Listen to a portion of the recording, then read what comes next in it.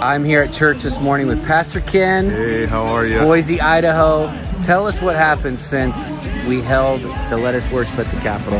Well, we, we had a great event at, with Sean at, at Boise last year, and it, what it did, it broke through uh, for future events. In fact, the legislature this year was the best legislative uh, situation we've ever had.